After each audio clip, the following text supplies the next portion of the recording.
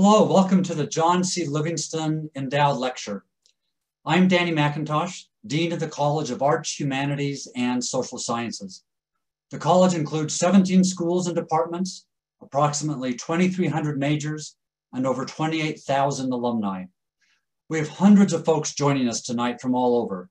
So to all, the alum, all you alumni, welcome home, even if it's only virtually tonight. This event kicks off the week celebrations and what brought many of us to the University of Denver to begin with. A fabulous faculty member challenging us and getting to know wonderful students who are engaged in the community. We're also grateful to be joined today by a number of current and former CAHSS Alumni Council members. Senior Vice Chancellor for Advancement, Val Otten, Vice Chancellor for Student Affairs, Todd Adams, and Provost Mary Clark. Thank you all so much for making the time to be here. Included in the college's Keystone Strategic Plan is a vision of students engaged in Keystone experiences, applying what they learn in their classes in the community. Also part of our strategic plan is support from the Madden Center for Innovation in the Liberal and Creative Arts to support faculty innovation. Tonight you'll hear about Casa de Paz Learning Community, a program that has come out of both these initiatives of our strategic plan. Note that through this virtual platform, you can see and hear us, but we cannot see and hear you. We'll be taking questions through the question and answer um, process or, or, button on your, on your screen. So if you have questions at various times, we'll ask for them and you should just go ahead and put questions in there and we'll be relaying them to the panelists. You can also put in the chat box if you'd like where you're from, what your association is from with the college, but all the questions will be through the Q&A. We're also recording tonight's lecture. Now a little bit of background. The annual John Livingston Endowed Lecture Series invites a College of Arts, Humanities, and Social Science faculty member to present her work to the broader community. The late Professor John Livingston was an esteemed professor of history and chair of the department. He was not only a colleague, but he was also a dear friend of many DU faculty, staff, and students. He was the heart of the department. This lecture honors not only John, but also his wife, Nancy. Those who knew John and Nancy know that they worked together as a true partnership. John and Nancy came up with the idea for this lecture series when he was ill, and they were thinking of a way to honor his legacy at DU. And this was a natural extension of the enjoyment of the intellectual enterprise, celebrating faculty and the students and alumni of the university. Nancy is here with us tonight. For years, Nancy has continued to carry forward John's academic legacy by being an active member of our community and by helping us with wonderful lecture series. Nancy, thank you so much for the years of support and all that you've brought to the college and the university. Now I'd like to introduce our esteemed lecturer for tonight. We're honored to have with us Dr. Elizabeth Escobedo, an associate professor of history here at DU. Professor, professor Escobedo's research focuses on the experiences of second generation women of immigrant and migrant populations during times of war. She enjoys teaching a wide range of classes, um, including in US history, including modern America, the Latinx and Chicanx experience, women and gender, and the history of race and ethnicity in America. Professor Escobedo is currently the Director of Diversity, Equity, and Inclusion for the College of Arts, Humanities, and Social Sciences, and she oversees the Critical Race and Ethnic Studies minor program. She's the author of the award-winning book, From Coveralls to Zoot Suits, The Lives of Mexican-American Women on the World War II Home Front. Her current book project is a history of Mexican American and Puerto Rican women in the World War II US military. With the support of the Madden Center, Professor Escobedo and faculty colleagues from across the college launched a, launched a set of service learning courses that partner with Casa de Paz, an Aurora nonprofit that offers housing, meals, visits, and transportation to immigrants recently released from immigration detention and help support them on their journeys home and to reunite their families. Through these courses, college students receive hands-on volunteer experiences, including visiting migrants at the detention center, serving as hosts or companions to help migrants reconnect with family members upon their release, and providing hospitality to migrants at the CASA. In doing so, they connect concepts learned in the classroom with real world problem solving and teamwork.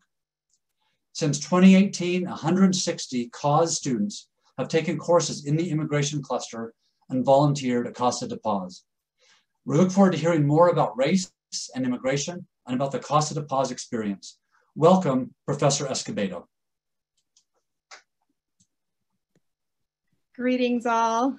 Thank you so much for being here tonight. And thank you, Dean McIntosh, for your very generous introduction and, and your kind words.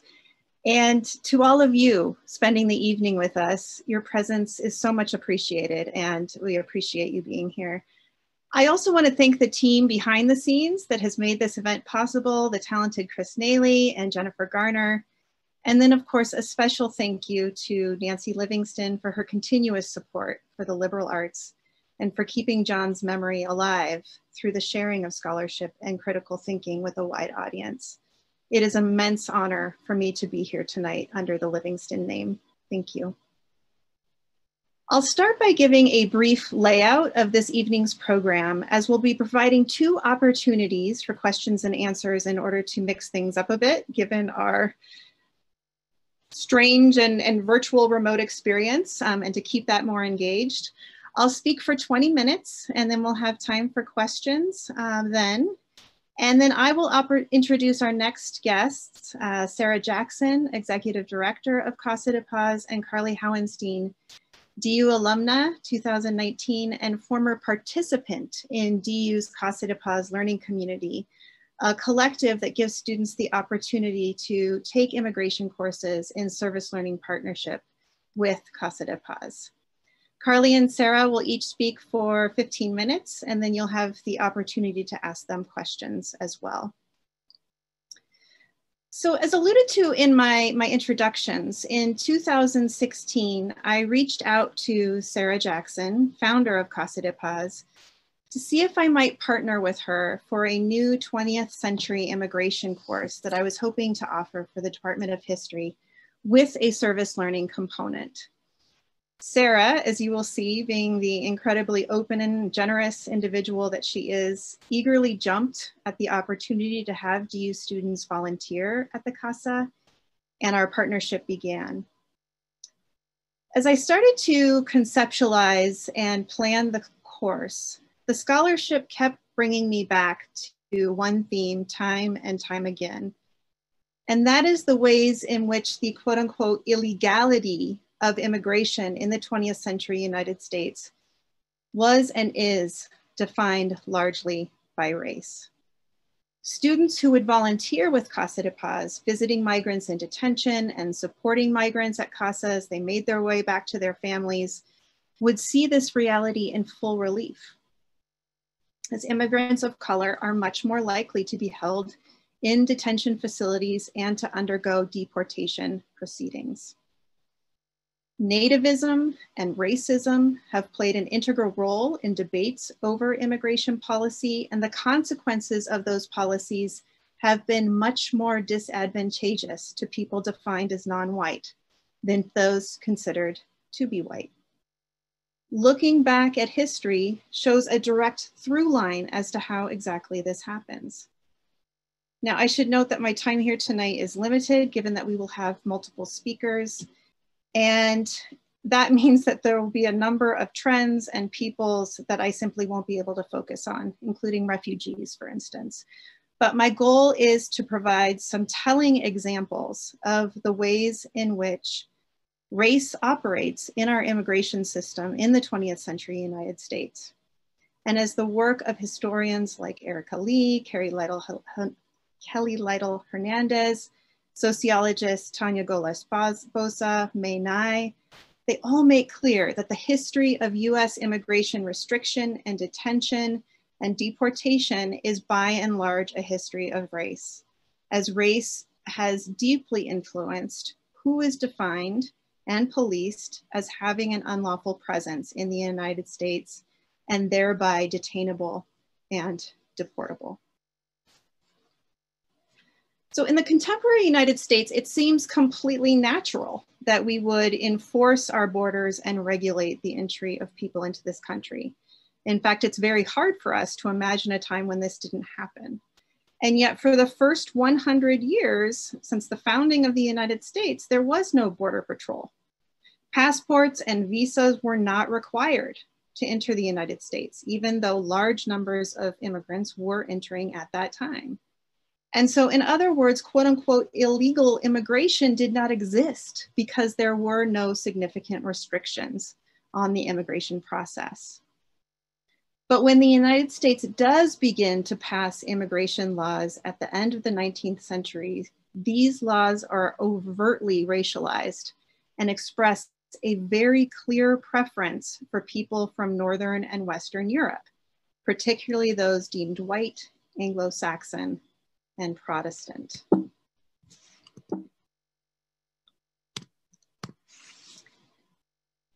In the 1850s, for instance, the arrival of thousands of Chinese immigrants into California provokes tremendous nativist sentiment among whites, and these sentiments are eventually translated into public policy. White workers in the United States US West in particular regard Chinese migration as a threat to jobs. And in response to their demands, Congress passes the Exclusion Act of 1882, which prohibits Chinese laborers for entering the United States for the next 10 years. Congress extends and expands the act until the 1940s, making the 1880s to the 1940s the age of Chinese exclusion. Additionally, the Chinese Exclusion Act was the first law used to deport an immigrant from the United States. And alongside the federal courts, the legislation deems Asians racially ineligible for naturalization. Exclusion thus defines Asians as permanent foreigners and in specifically excluding a group because of race and because of class the act sets the stage for 20th century immigration policy, which had both overt and covert class biases. Restrictive trends continue in the conservative climate after World War I, when for the first time, the United States imposes numerical limits on immigration. In spite of the fact that in the 1900s, especially the early 1900s, you had hundreds of thousands of immigrants from Southern and Eastern Europe providing cheap, unskilled labor that made possible the nation's industrial and urban expansion, people born in the United States complained that these newcomers, like Italians, Slavics, Poles, were stealing jobs, that they were bringing disease and criminality, and were incapable of ever truly becoming quote unquote American. And given that these immigrants were not Anglo-Saxon Protestants, but rather Catholics and Jews, and by and large non-English speakers, they were viewed as part of an alien culture, the degraded races of Europe. Amidst this nativist sentiment, we see a revival of the Ku Klux Klan and eugenicists sound alarms that Anglo-Saxons might soon become a minority in their own land. You can see these very racialized depictions in a number of political cartoons of the time. This one runs in Life magazine in 1893, reads an interesting question. How long it will it be before the rats own the garden and the man gets out? And we see quite clearly that it is Uncle Sam who is sleeping in the garden that is overrun by vermin who are depicted in very stereotypical imagery of Southern and Eastern European populations. What is interesting is that rather remarkably, we see the 1924 Act creating a quota system that significantly cuts down on the number of foreign-born populations from Southern and Eastern Europe. It also bars immigrants who are ineligible for citizenship, including South and East Asians, Indians, Japanese, Chinese, that had been deemed ineligible for citizenship on racial grounds by the Supreme Court. What is remarkable, however, is that in spite of vociferous objections, these quotas do not apply to countries of the Western Hemisphere, like Mexico. And this is by and large in deference to powerful agribusiness interests and agricultural labor needs. Agribusiness convinces Congress that the nation needs a cheap supply of Mexican laborers and that given their proximity to the United States, to the border, Mexicans would simply come to the United States to work, return to Mexico when that work was complete, not causing any sort of permanent threat to American society and culture. Congress does, does give in to anti-immigrant forces, however, by expanding requirements for people from the Western Hemisphere to pay head taxes and visa fees. So these new immigration requirements do not interrupt the total labor flow from Mexico, but it does reduce the number of Mexicans who are migrating to the United States legally. The Border Patrol, noted here, is created this very same year in 1924. So while Mexicans were not included in the 1924 quota restrictions, the creation of the Border Patrol and of immigration inspectors does facilitate the deportation of Mexicans. Many Mexicans who at this time are fleeing economic and political instability in Mexico immigrate to the United States without paying the fees to obtain the required documents. It's expensive. They help meet the demand for low wage labor in the West, but they are also in the United States in violation of immigration law and therefore were deemed deportable. With the advent of the Great Depression of the 1930s, the more plainly racist character of Mexican illegality and deportability becomes abundantly manifest.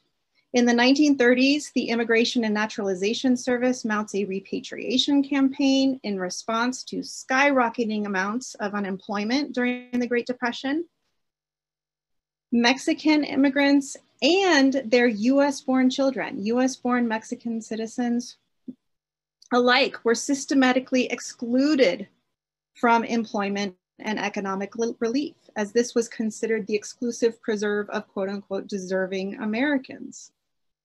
These abuses culminate then in forcible mass deportation of at least 500,000 Mexican migrants, as well as many of their US citizen children.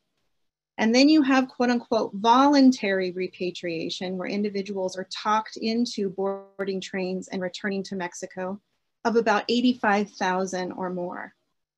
So notably, Mexicans are expelled with no regard to legal residence, to US citizenship, or even birth in the United States. They are expelled simply for being Mexicans. This sort of revolving door immigration strategy where we welcome Mexicans for their labor, but then expel them during periods of economic downturn and increased nativist hysteria is a mainstay of the 20th century. During World War II, for instance, the US government, in a dramatic reversal of the mass deportations of the 1930s, looks to solve labor shortages by importing Mexican laborers to work in the fields and railroad yards of the United States. These laborers are known as braceros, literally abrazos, arm. Between 1942 and 1964, approximately 4.6 million contracts were signed by Mexican males, allowing them to come to the United States, work on a short-term basis that usually last about six months to 18, or six weeks to 18 months. But with this influx of bracero laborers comes a rise in undocumented immigration as well, both through defections from the program through recruitment of undocumented laborers by growers. Many braceros that return to Mexico describe the conditions, the opportunities, the comparatively high wages that are available in the United States to their Mexican brethren. Additionally, the bureaucratic red tape of the Bracero program forces Mexican workers to choose the easy alternative of crossing the border without proper documentation. Mexican workers could save money waiting time, travel expense by doing so. And likewise, American growers, by hiring undocumented labor, could save money by evading minimum wage and employment standards and other restrictions of the Bracero program, including bonding and contracting fees. This period of an official open border with Mexico soon culminates, rather predictably, in the 1954 to 1955 expulsion of at least 2.9 million undocumented Mexican migrant workers under a militarized dragnet nativist hysteria of a very pejoratively labeled federal, federal operation known as, quote, Operation Wetback. So named for those who crossed the Rio Grande to make their way into the United States. As you can see here in this article, the language that is used to describe these in, in individuals includes invasion, an unending, uncontrolled stream.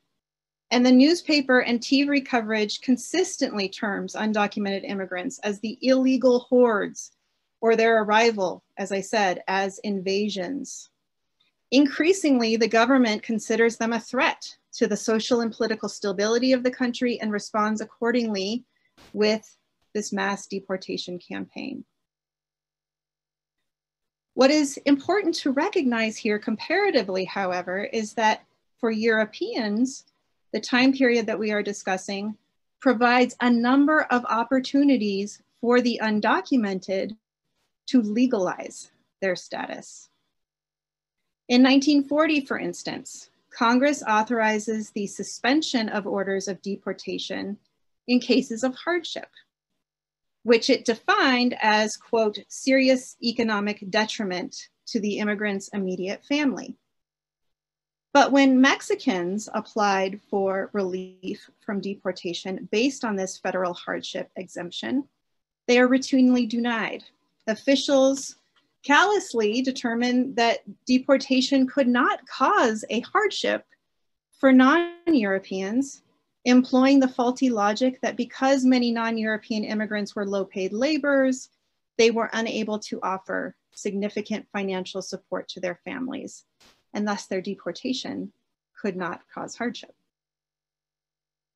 Suspension of deportations in the 1940s and 1950s were also overwhelmingly conducted for immigrants of European origin, not Mexicans.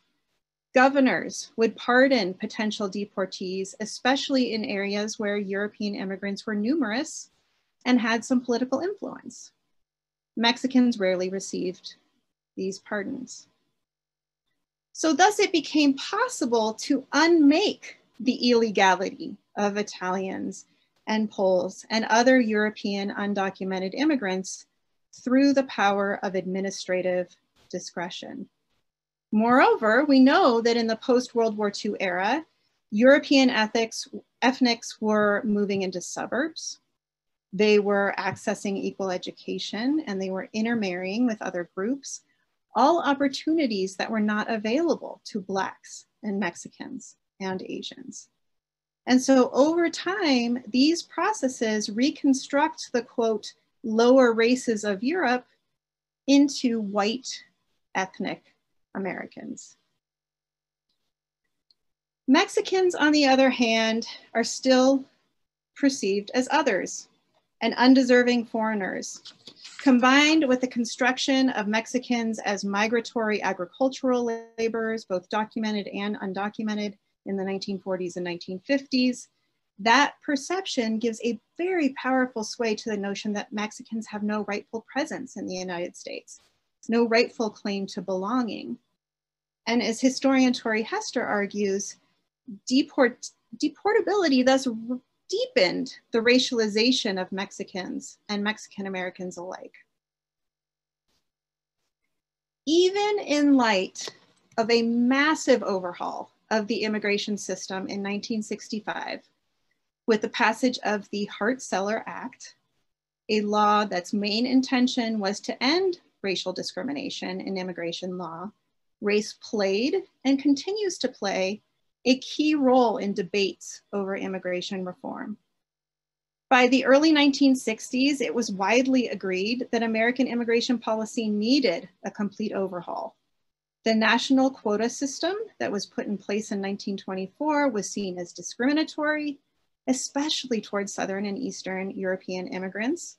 And in light of the Cold War, in addition to the civil rights movement, the United States was eager to tout a more democratic immigration system. After several years of debate, Congress passes the 1965 Immigration and Nationality Act. And this, by the way, is the primary immigration act that we still live with today. The law ends the national origins basis of admission to the United States, and it was replaced with a preference system based on immigrants' family relationships with US citizens or legal permanent residents, and to a lesser degree, their skills.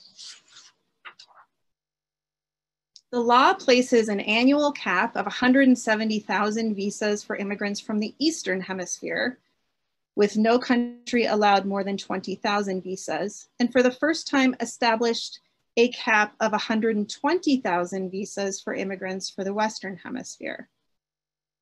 Three fourths of admissions were those who were arriving in family categories. So immediate relatives like spouses, minor children, parents of adult US citizens. These individuals are all exempt from the caps. 24% of family visas were assigned to siblings of US citizens.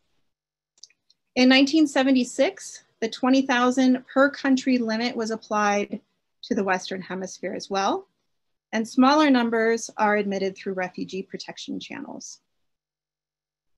So in creating this legislation, lawmakers express a desire to end discrimination. But in practice, they hoped to facilitate immigration from Europe and to limit, or at the very least, discourage immigration from Asia and Latin America and Africa. In focusing on family preference, legislators assumed, incorrectly, as it turns out, that it would be Europeans who would be coming over to the United States to reunite with family members and thus would preserve the country's European base. In an example of, of extraordinary unintended consequences, however, in the years following, the European economy flourishes, demand from Europeans to immigrate to the United States falls pretty flat. At the same time, interest from non-European countries, many emerging from the end of colonial rule, begin to grow. And so we see immigration from Asia, the Caribbean, and South America grow really dramatically. And if refugees and undocumented immigrants are included, it is Asia and it is Latin America that provides the overwhelming majority of immigrants under the new law. It is worth highlighting what populations are by and large defined as undocumented in these years following the 1965 legislation. Annual numerical quotas for the Western Hemisphere were enacted specifically to restrict immigrants from Latin America. No single country was sending numbers of migrants at all comparable to the level of migration from Mexico. But US officials in 1964 and the Bracero program, and then in 1965 imposed these annual numerical limits on immigrant visas issued to Mexicans and further extend that in 76. Thus the demand and need for migrant labor in the United States does not change, just the law. Eliminating hundreds of thousands of visas annually simply meant that even more Mexicans living in the United States are doing so without the right documents, in spite of Mexico's close proximity and our dependence on Mexican labor. As scholar Nicholas de Genova points out, Mexican migration to the United States is distinguished then by a seeming paradox.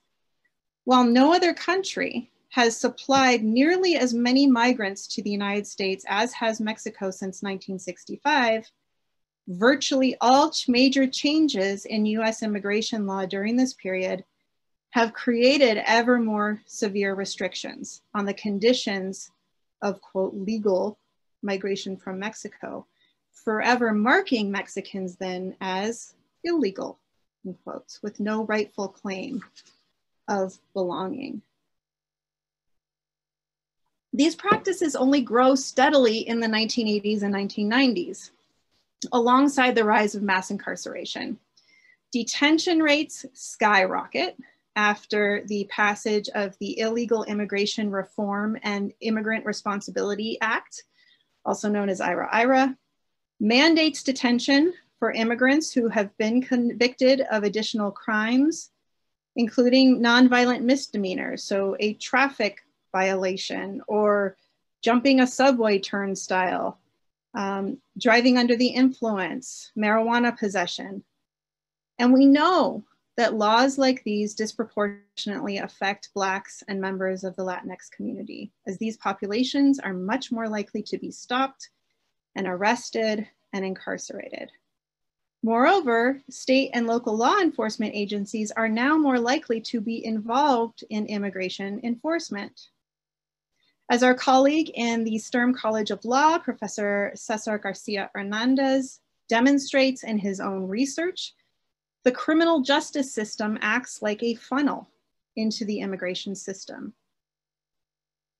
Thus, when we look at the demographic makeup of detention centers and see disproportionate rates of immigrants of color, it's important to recognize that this is not happenstance. Rather, policies and laws and practices were created and put into place and shaped these demographics to what they are today. In fact, again, as law professor Garcia Hernandez reminds us in his book, Migrating to Prison, in 1954, President Eisenhower's Attorney General announced the decision to shut down major immigration detention centers along both coasts, including Ellis Island. This decision didn't end all immigration detention, but the administration called it part of the quote, humane administration of immigration laws. But in the years following, in the wake of the 1965 Immigration Act, we begin to see an increase of migrants from Asia, dark-skinned and poor migrants from Haiti and Cuba, and the government again turns to the more draconian approach of detention. Here we see the, the Mariel immigrants coming from Cuba during the 1980s.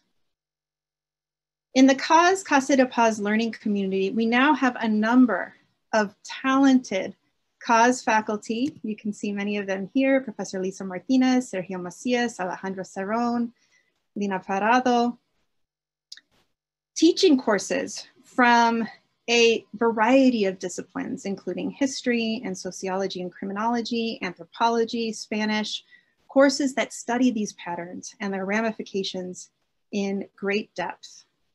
Students in these classes see the impacts of past and current immigration policies in full relief. And they also get to talk and share and support migrants that have been impacted by the laws and attitudes that we've discussed and learned about in class, better understanding and connecting to the human side and the human face of migration. Exposing the ways that race is utilized to marginalize and impoverish and punish and exploit immigrants of color is critical to rethinking our immigration system and making a better future for our country. And we can look to history for sobering and necessary and urgent wisdom on how to do so. Thank you.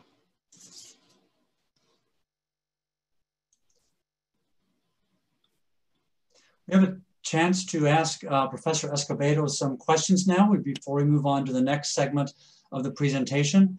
If you have some questions, just type them in the Q&A form and I will be organizing and passing those on to, uh, to Professor Escobedo. So if you have any questions, um, let me know, put them in the Q&A. Um, one question that's come up is a little bit more information about the era of the Cold War. You talked about there continued to be racialization in that period, but there's also a number of, of refugees, um, refugee issues. So I'm wondering what role you see race playing in the history of refugee displaced uh, amidst the Cold War? Yeah, that's a that's a great question because of course you can't talk about the 20th century without thinking through the Cold War. And so much of what we see in terms of Cold War history and how that impacts who's coming to the United States and who is not is based upon US foreign policy. But that doesn't mean that, that race uh, fails to play a role there. Um, and I think one of the best examples of this is perhaps um, the experience of immigrants fleeing Cuba.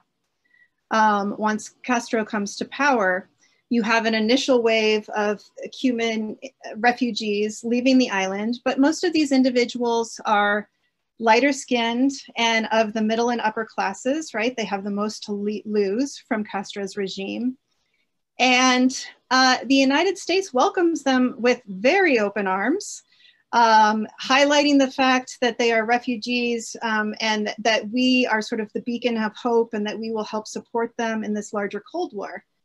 Um, and in fact, uh, Cuban immigrants were, were given one of the most significant supports that has ever been given to a, an immigration group, um, and that is um, providing permanent residency, right, after a year of, of living in the United States. Of course, what we see later, um, as we see subsequent waves leaving the island and Castro sort of playing with the United States, you know, saying he's going to open up the prisons and open up the jails and, and let all these criminals into the United States and they're free to go. Um, but many of these later waves of immigrants are people of color and from the working class. And by the 1980s, when we saw the Mariel boat lift arriving in the United States, Americans are much more attuned to um, feeling that immigrants are taking more that they are giving and especially when these are, are immigrants again from the working classes and, and who are people of color. And Mariel is when we begin to see immigration detention take off again, which I think is pretty telling given the types of immigrants that are, are, are coming over. Yeah, thank you. Mm -hmm. uh, we have a question. Um, there are no African countries identified in the pie chart, Somalia, Ethiopia, Eritrea, Congo, etc. Do you have a breakdown of the um, other category? Yeah, let's go ahead and um, get this PowerPoint back up for others to see.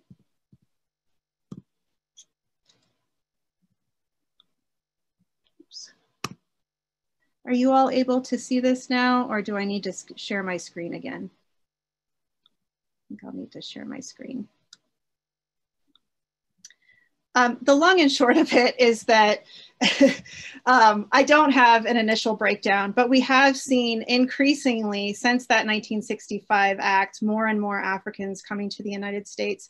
And this can perhaps be a question um, that, that Sarah and Carly can get into, um, perhaps not exact numbers, but a number of people that come through the doors of the CASA are those coming from African nations. And in fact, one of um, the, the main directors alongside Sarah uh, immigrated from, from Africa and has played a really significant role in, in CASA's support of, of immigrants. So I apologize, I can't give you exact numbers, but we do see a steady rise.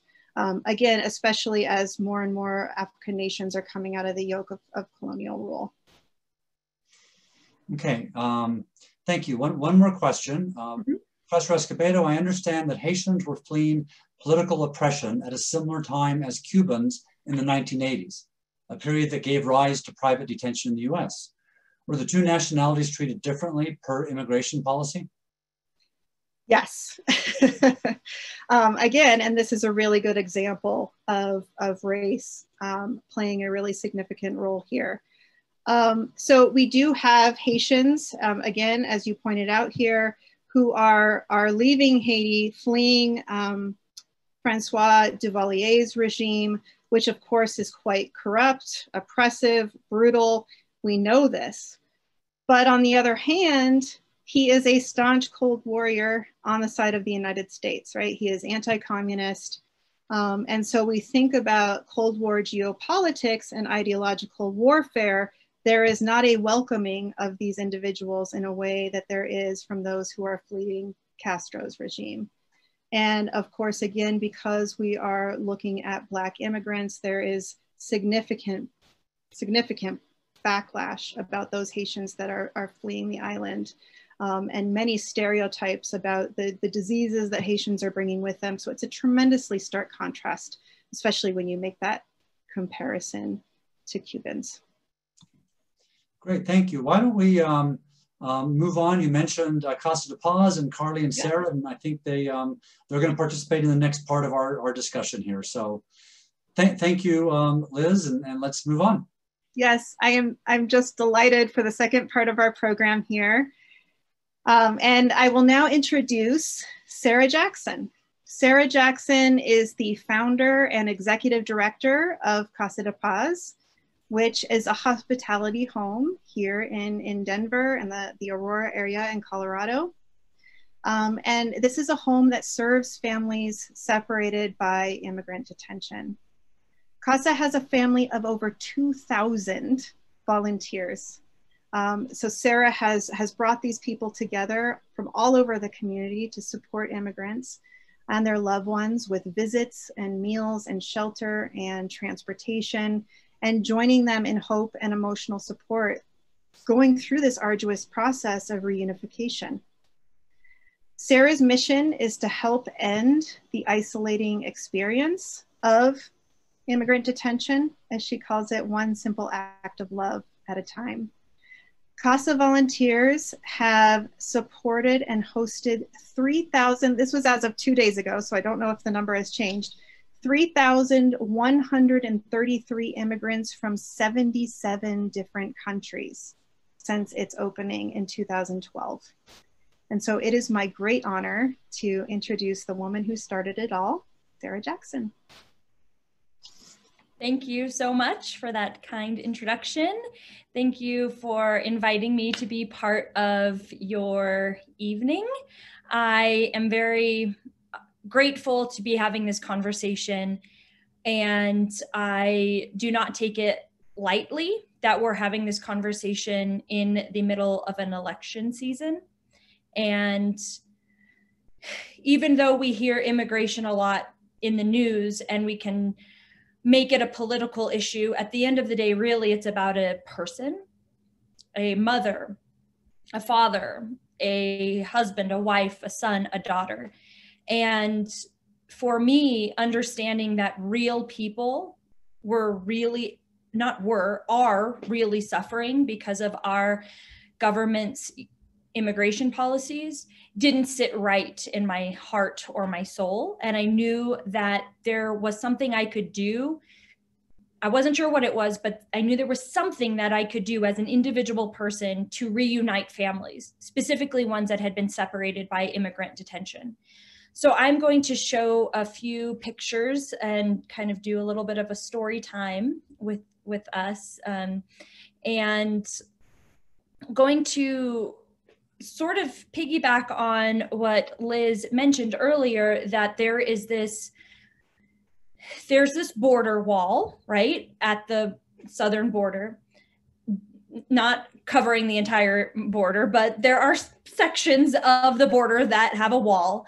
And families like this that come to the United States, whether they're fleeing war or persecution or poverty, a lot of folks too who are seeking a better life and coming for economic reasons. You know, there's this wall, and then you can see on the wall there's two signs. One sign may say, now hiring, apply here. And then right next to it, there's a sign that says, stay out, you know, no trespassing. So we've got these mixed messages, right? We we depend on immigrants, we rely on them, and yet we're saying stay stay out. But if you come, you can work and we'll probably exploit you, but stay out, but come in. So families are caught in the middle of an impossible decision. Do I come into the United States and, and try to seek safety, whether that's in the form of asylum or other relief, or do I stay home wherever home is? That could be Mexico, Central America, Africa, Asia, Europe, wherever it is. Um, realizing that the threat of of danger is imminent and sometimes right there at your door, literally knocking, waiting to kill you. And so oftentimes folks make that very difficult decision to come to the United States seeking safety or life. And upon entering the country. Here you'll see a picture uh, at the border, a border patrol officer here. Um, they have the opportunity to lawfully present themselves to a border patrol officer and ask for asylum, which is a, a, a right that they have that's internationally recognized. And one of the things that our government can do and often does is put them in these immigrant detention centers after they have lawfully presented themselves at the border asking for asylum. And folks are not serving sentence for a crime that they have committed. They are being held indefinitely until they can make an appearance in front of their immigration judge. So they're being held in these, mo most immigrants in detention are being held in these for profit prisons. Like Liz mentioned earlier, there's one in Aurora which is run by a for profit prison company called GEO, which operates prisons all over the world. And they just happen to have one here in Aurora, Colorado. And so GEO will make a contract with ICE, Immigration and Customs Enforcement, to detain immigrants who are in the country, whether asylum seekers or perhaps they were here undocumented and their work was raided or they were pulled over for a traffic violation and found to be undocumented, even though they've been living in the United States for 15, 20, 50 years. If you are in the custody of ICE, then you can be placed in one of these for profit prisons. And right now, where coronavirus is, is rampant in this country, inside of one of these immigrant detention centers or a prison in general, you are more than three times, you are three times more likely to contract the virus than if you were not in a prison, which makes a lot of sense, right? Because when you're in a closed, confined, enclosed, confined space, there's no way to properly do physical distancing or social distancing. And so I actually want to see if my internet will allow us I'm going to play a short clip. And these, this is an inside look inside of a detention center. These are some immigrants who were detained in the detention and in a detention center in Louisiana. And they started protesting against their detainment because they were being held for prolonged periods of time and were being treated terribly while they were in this prison and so they they used their voice even though it was scary for them to do so because they knew that retaliation happens and it doesn't just happen occasionally it happens a lot but they were brave enough to speak out against the way that they were being treated. And so here is an inside look inside one of these detention centers and the message that these men wanted us to hear. We are really suffering please you people should really do help us. Anybody who can help us do help us. We are suffering in here. The fact that we are speaking like this and you're seeing our faces we are really suffering. We are really suffering we are suffering. We are suffering. It is really hell in here. It is hell in here. They don't even give you the opportunity to speak out because we are scared right now that if you want to speak out, they might catch you and go lock you up. We are scared to speak out right now. That's how they've made it. They've made it like it's, it's like a slave under a master who has no place to go, nowhere to go. That's how we are right now. We are slaves under the master, under, under the master, which decides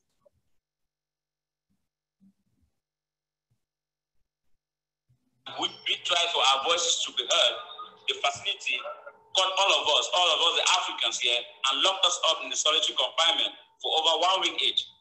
They locked us up just because we went on hunger strike so that our situation can be addressed. And, and also, when we were locked up in solitary confinement, we stayed there for two days. We couldn't speak to our families. We couldn't speak to our lawyers and we couldn't even take a shower. Uh, ICE has been releasing Spanish uh, asylum seekers every other week. And in the 10 months, they have only released seven, uh, only seven Africans in the 10 months. That is, that is quite unfair. When we go to court, one of the points that the judge to talk about us is that we are criminals. But I believe none of us here have any criminal records. But the judge keeps saying that we are criminals. He doesn't believe what we are saying. So we are pleading with the people outside, all the NGOs, all the NGOs, Southern Poverty, or the Congress people, please, the, the United States as a whole, we beg you people to help us in here. Help us in here. We are dying. We are dying for real.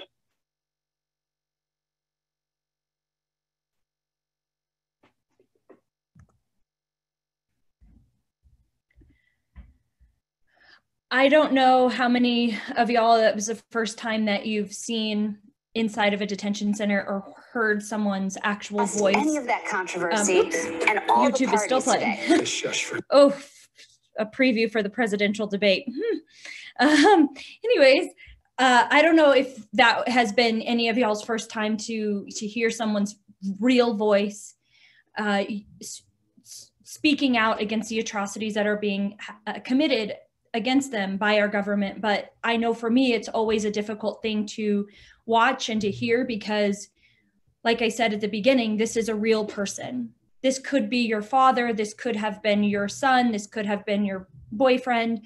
My mother, or I'm sorry, my grandmother was born in Poland. And during the Holocaust, she fled from Poland to France because they wanted her father to become a Nazi soldier. And he said, No, I'm not going to do that and they fled to France where they found safety. And so that is a personal story in my family's history as far as this was this isn't generations removed. This is my immediate family that had an opportunity to to start a new life somewhere instead of staying in their home country and being killed. And so I think when we can find those similarities that those are things that will propel us to create a better world for all of us to live in. Now on a good day someone is released from one of these detention centers. Unfortunately today nobody was released but on a good day someone is released. And that's where casa de paz comes alongside folks like this young man juan who was released from the detention center. And we are standing alongside them as they make that transition from detention to their final destination in the United States. Because oftentimes, when you arrive at the southern border and you lawfully present yourself to Border Patrol asking for asylum, you are taken into custody of ICE and put into a detention center. It doesn't really matter where you have friends or family or sponsors living. They just put you wherever they want to put you. So you may end up here in Colorado, even though you've never been to Colorado, you've never heard of Colorado, and your family may live in Minnesota, or your friends may live in Florida, or your sponsor lives in Washington state. You just ended up getting shipped here. But you're released on a good day, right? And you're free. Well, how do you get to your next stop? That's where we come into play. And that's how DU students have joined us in the effort to welcome immigrants to the United States. So we have volunteers that go to the detention center to pick up folks who've been released. We also, because of COVID, have sort of upped our hospitality game and tried to make that transition from the detention center to Casa de Paz a little smoother. And so one of the ways that we're doing that now instead of having folks wait in the lobby after they've been released, waiting for a volunteer to come pick them up, we have purchased this van. We've converted it to be a comfortable living room, and now our volunteers are there throughout the day. So, as soon as someone is released from the detention center, boom, we're there right away to greet them, welcome them, tell them we're happy that they're here, and start making travel plans to get them home we arrive at Casa de Paz and we have dinner together. You can see that we're outside on the deck because the detention center, I know I'm using the word detention center, but it is absolutely a prison. And in cases, it's even worse than a prison. At this detention center, you can not look outside. I'm looking outside my window right now, but at the detention center, the windows are blacked out. You cannot look outside. You cannot see the sky. You cannot see the trees you cannot feel the sun on your skin. And so when folks are released, of course, we want to sit outside and enjoy the simplicity and beautiful nature that Colorado has to provide. Then, if folks need overnight shelter, we have a very simple home. It's just a normal three bedroom, two bath home in a normal neighborhood, but we provide shelter so that folks aren't sleeping on the streets in an unfamiliar city uh, as their, you know, impression, first impression of the United States.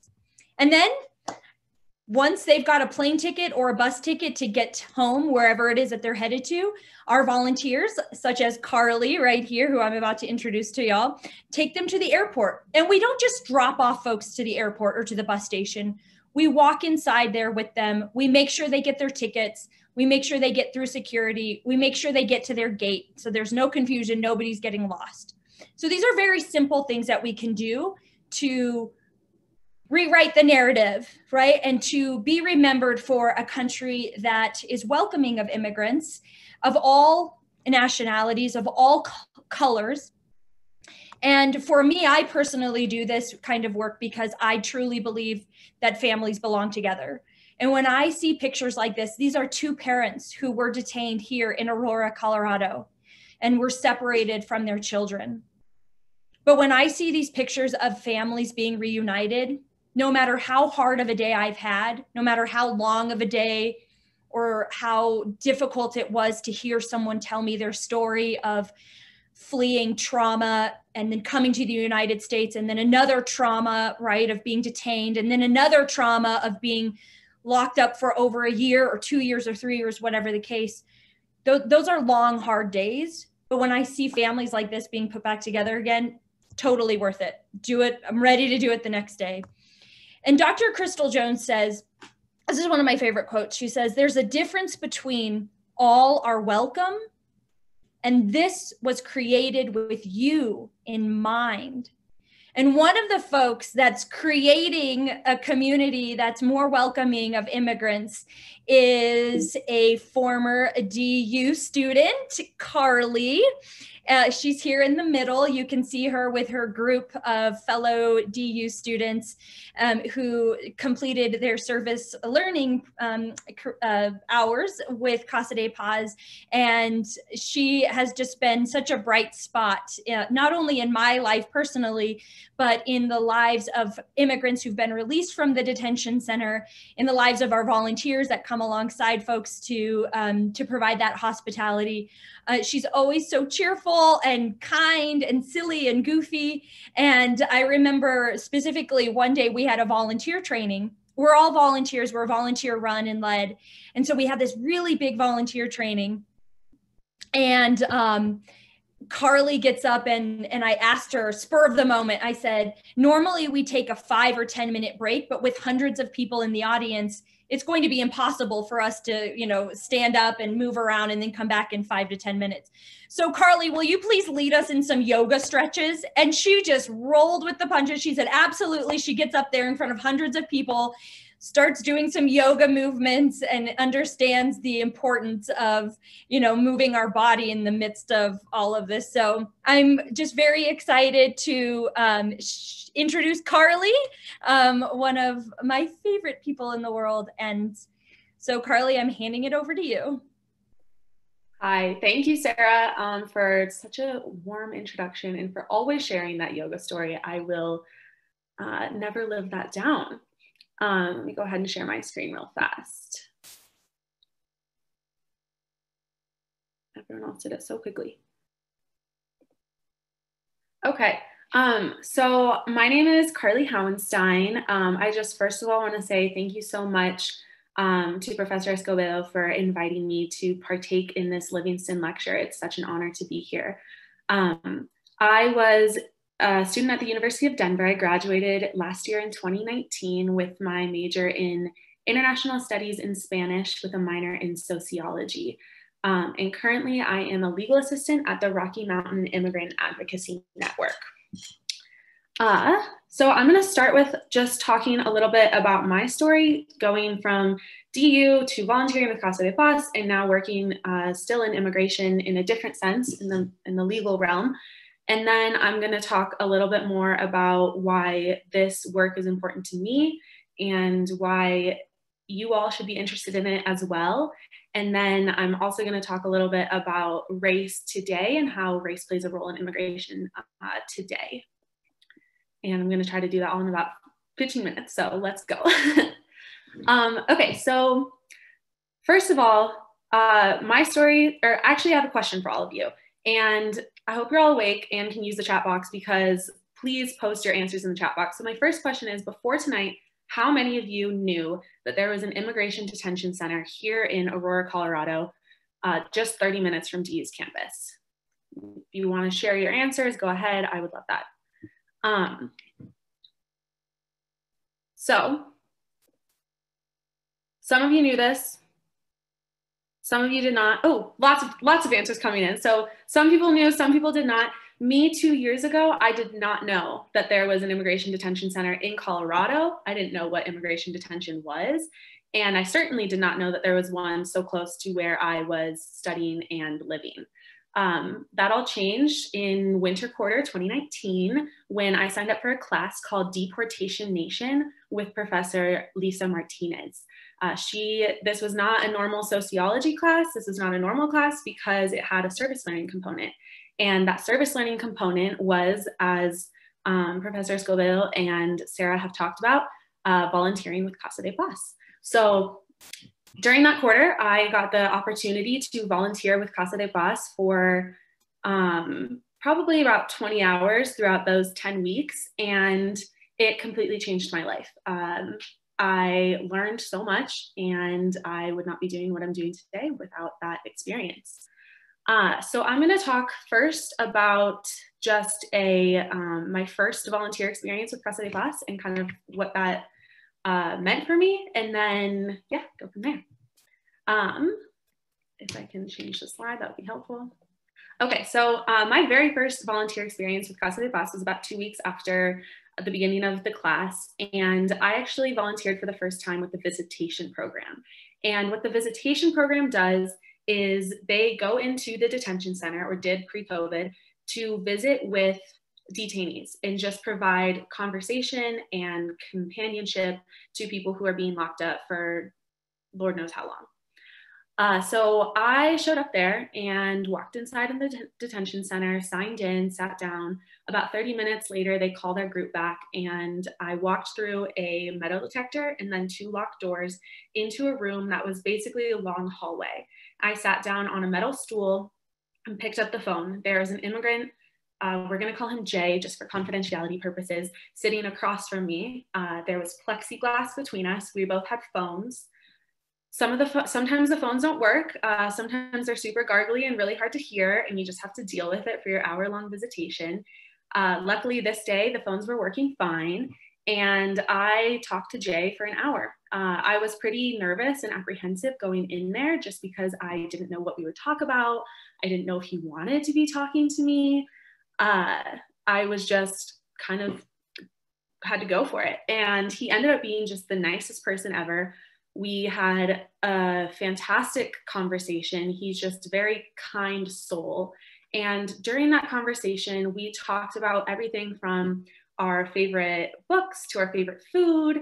Uh, he told me that he absolutely loves coffee and he would work in the detention center for very low wages just to be able to every Sunday morning from the commissary buy a cafecito and drink his coffee and just feel some semblance of um, comfort.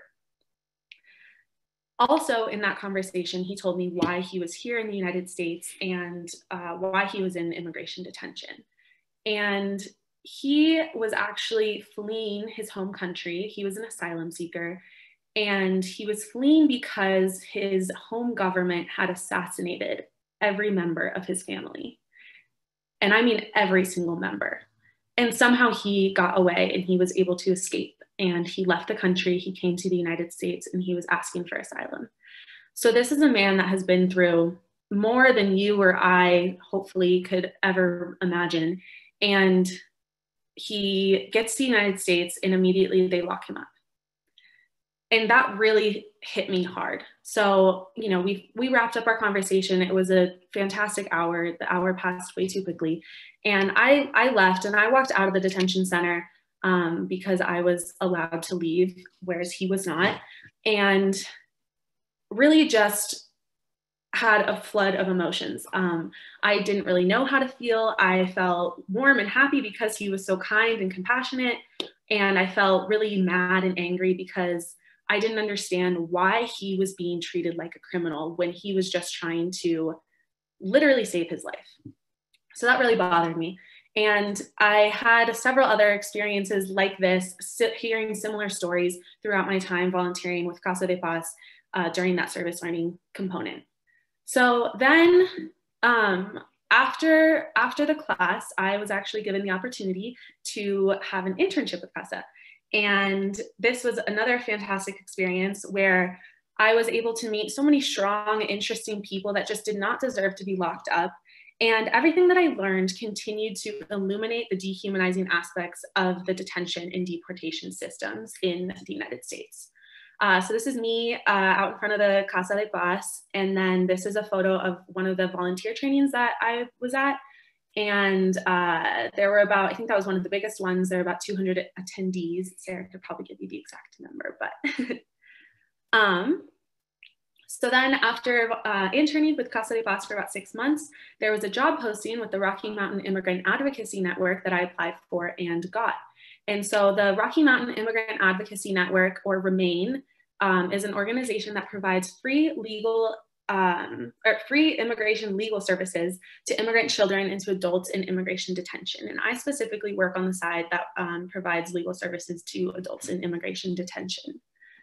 And I really saw this job as an opportunity to further serve the non-citizen immigrant popula population and also learn more about the um, immigrant system.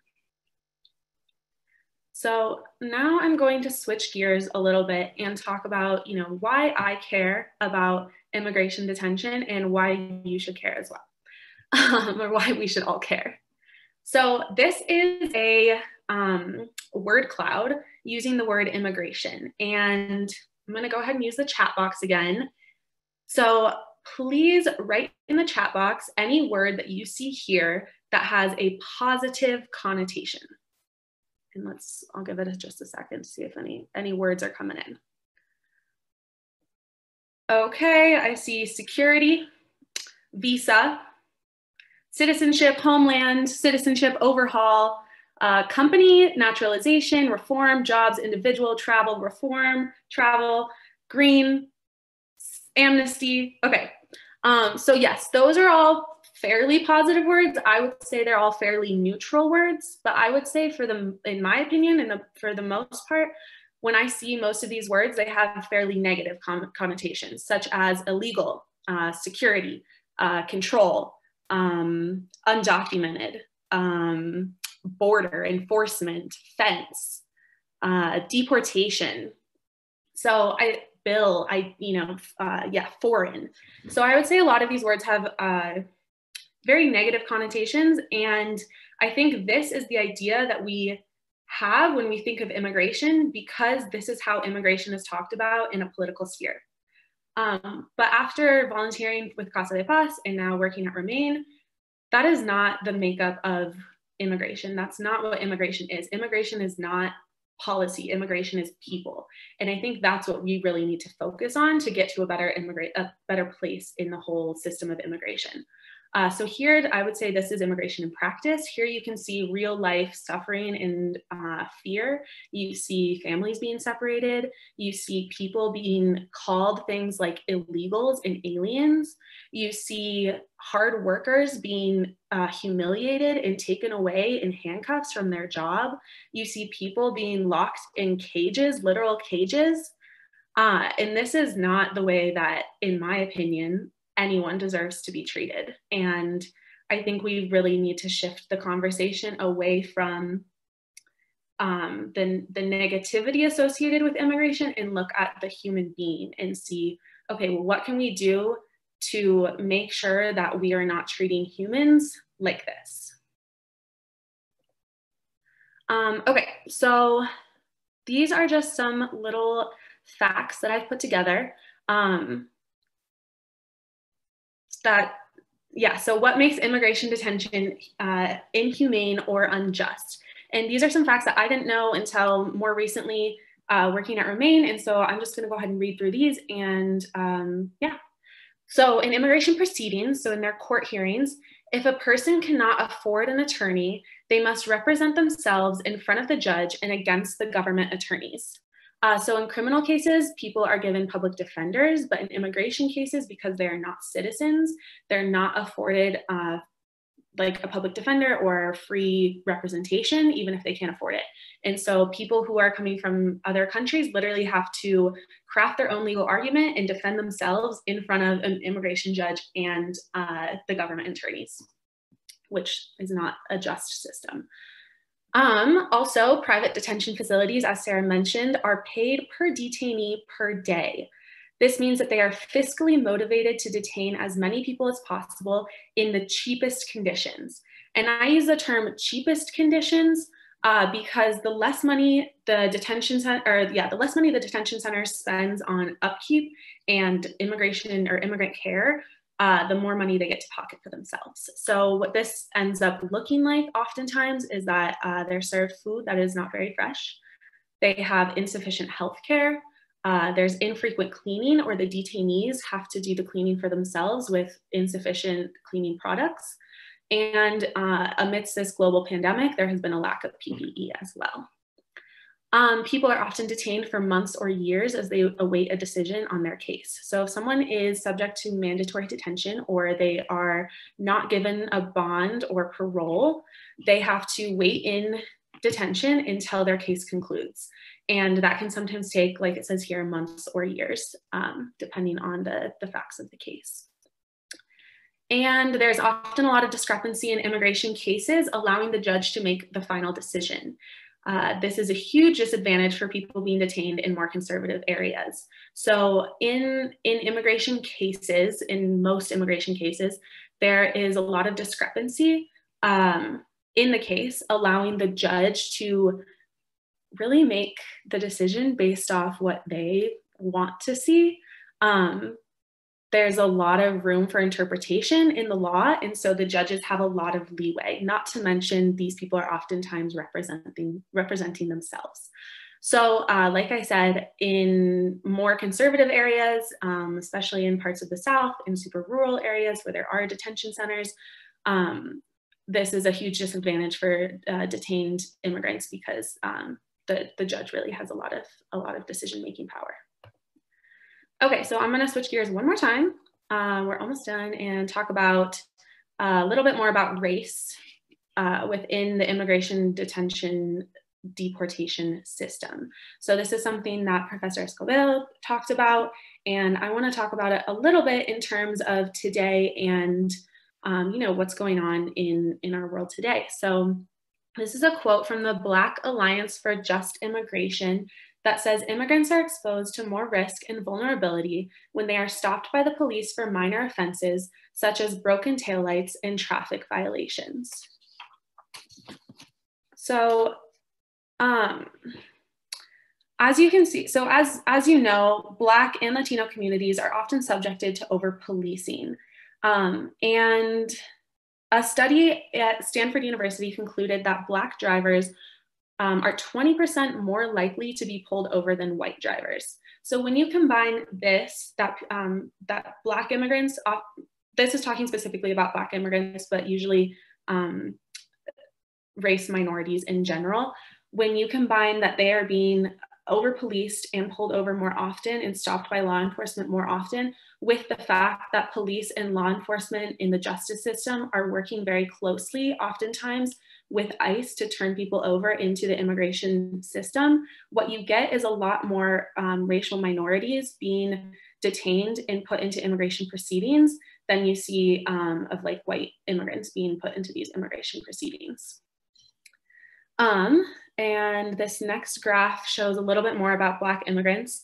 It says that they are at a greater risk for uh, deportation. So the, on the left side, you can see that um, Black immigrants make up 7.2% of non-citizens, yet they make up 20.3% of non-citizens facing deportation on criminal grounds. So that's a huge discrepancy uh, that doesn't totally um, makes sense and just shows the injustice that is existing here when it comes to race and immigration. Um, and then I do want to talk a little bit more about what this uh, criminal grounds means. So in this graph, you can see it's the leading crime categories of convicted criminal aliens removed.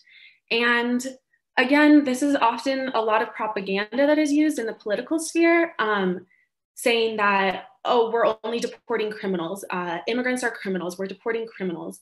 Um, so it's important to understand what that criminal statement means, and this breaks it down a little bit. As you can see, 24% of that criminal conviction is actually immigration related. And what that means is that um, for immigrants, simply being in the country, if they're undocumented uh, or if they don't have proper documentation, is a crime against the US government. So, out of um, everyone being removed or deported um, with a criminal background, 24% of that criminal background is simply being here um, against the law because that's a criminal uh, that's criminalized uh, against the United States. Another 23% is strictly traffic violations. So uh, as Professor Escobedo was talking about earlier, potential, um, you know, taillights being out, uh, speeding tickets, driving without a license, stuff like that. And then another 21% is drug related, and that could be simply marijuana possession. So I think when we're talking about, you know, deporting criminals, it's really important to understand what that means and um, where what the what is criminalized uh, in the immigration context. So it's a lot of information in a short time, and I know we could go into all of that in so much more detail. But I do just want to leave you with one final question, and that is, what if this is what if this was you or your parent? How would you want them to be treated? So again, I think we really need to move away from the context uh, that immigration is spoken about in politics and focus on the, the human being that is being affected and how should we be treating them because they don't deserve what they're getting from our government. And now I'm going to pass it back over to Professor Escobedo for um, the Q&A. Thank you guys so much.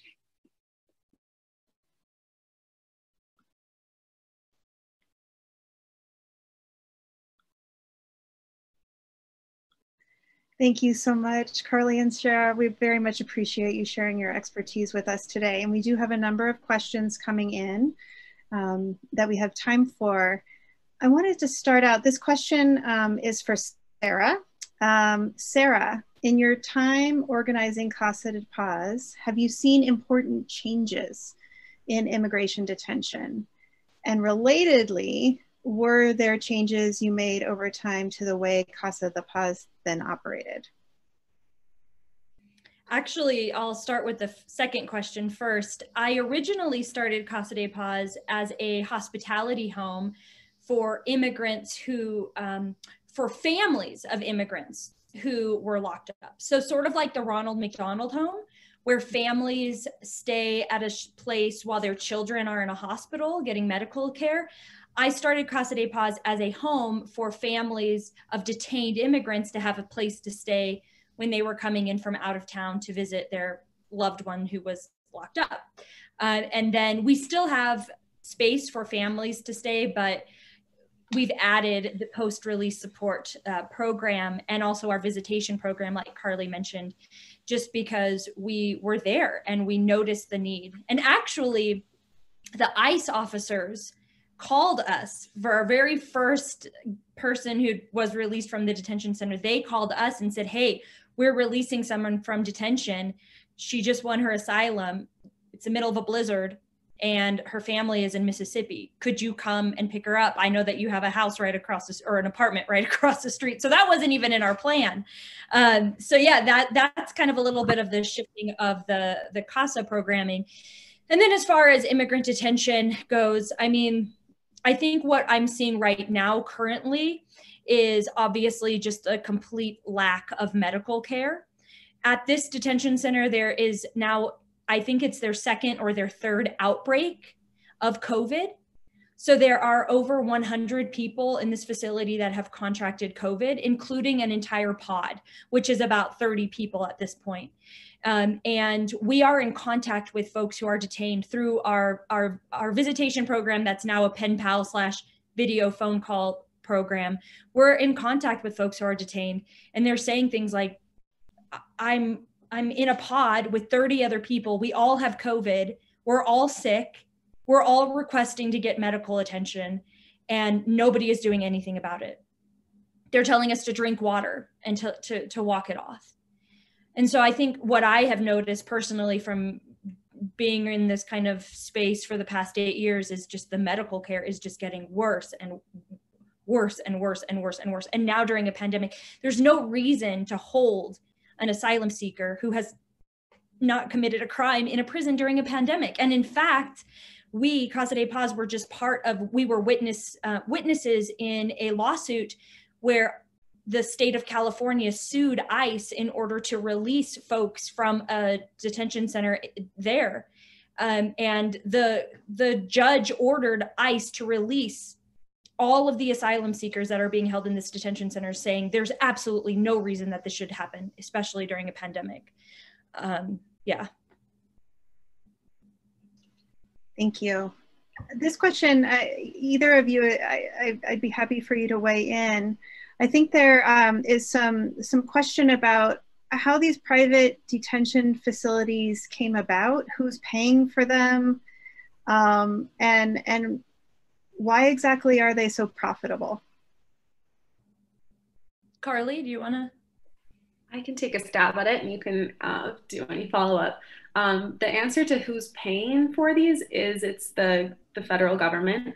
Um, so the Department of Homeland Security um, which ICE is under, um, actually pays, contracts out and pays these detention facilities to house immigrants. Uh, it's a very similar system to the um, criminal prison system that we have in the United States.